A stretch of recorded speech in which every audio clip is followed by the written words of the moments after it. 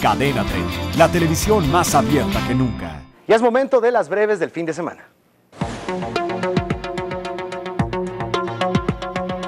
El gobernador de Durango, Jorge Herrera, destacó que el convenio suscrito con la Comisión Federal de Electricidad de aplicar descuentos a productores laguneros será de gran ayuda al sector. Aclaró que el descuento será de acuerdo a lo que cada productor le adeuda a la paraestatal.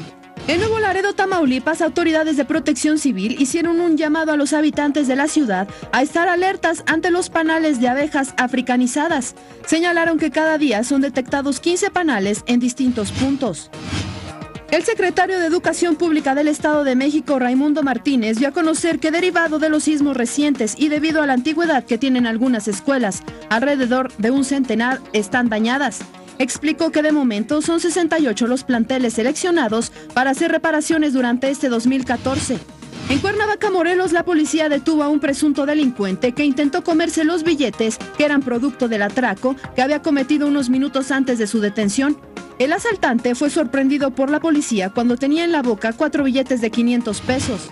La Procuraduría de Justicia de Tabasco entregó 16 de los 21 cuerpos identificados de las víctimas del accidente en la autopista Acayucan, Cosamaloapan, que ocurrió el pasado 14 de abril. La Procuraduría informó que ya se difundió una lista de 21 personas identificadas a través de las pruebas de ADN. Con información de corresponsales. Suscríbete a nuestro canal de YouTube para que siempre estés informado de las últimas noticias de México y el mundo. Empieza ahora mismo dándole clic a estos videos.